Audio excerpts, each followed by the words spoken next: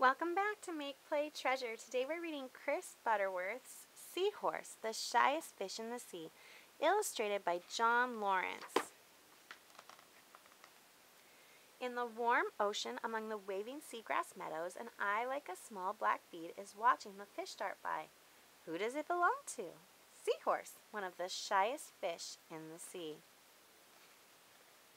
Seahorse has a head like a horse or tail like a a tail like a monkey, and a pouch like a kangaroo. This one is a Barbour seahorse. He has tiny prickles down his back like a dragon. He may not look like much like a fish, but that's what he is. Seahorse swims upright. He moves himself through the water with little fins on his head and the larger one on his back. He can only swim slowly, so if a hungry snapper cruises by looking for a snack, Seahorse does something very clever. He holds still and changes color. Now you see him until he's almost invisible.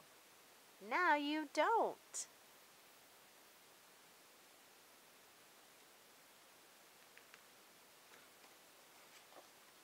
Every day at sunrise, Seahorse swims slowly off to meet his mate. They twist their tails together and twirl gently around, changing color until they match. Today, Seahorse's mate is full of ripe eggs. The two of them dance till sunset, and then she puts her eggs into his pouch.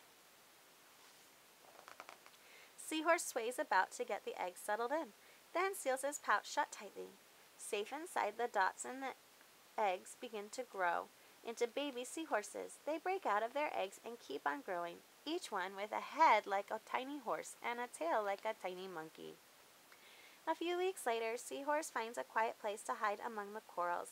It's time for the babies to be born. He works hard all day and through the night, bending, squeezing, and pushing, shooting hundreds of babies out of his pouch. They swirl around him in the water like smoke.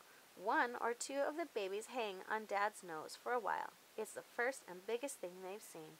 But when they let go, they are so tiny and light that the current soon floats them away.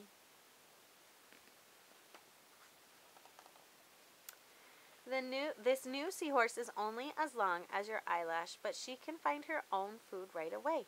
Her eyes move separately from each other. One can peer up while the other looks down, so she can spot food coming from any direction. With one quick slurp, this sucks her, she sucks her catch into the end of her snout and swallows it whole. Seahorses don't have teeth. When she is big enough, Seahorse curls up her tail and sinks to the seabed. She is safer here. Her camouflage protects her, and if a storm scoops the sea into huge waves or passing boats send currents sweeping by, there are plenty things to hang on to. When she is even bigger, Seahorse picks one patch of reef as her home.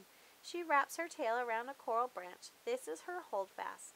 Wherever she goes, she'll keep coming back to this holdfast. In a few months, this little seahorse will be ready to mate. She'll spend the rest of her life on the reef watching her for food, meeting her mate, and trying to stay almost invisible. Who's that peering from the coral? Shh, she's a seahorse.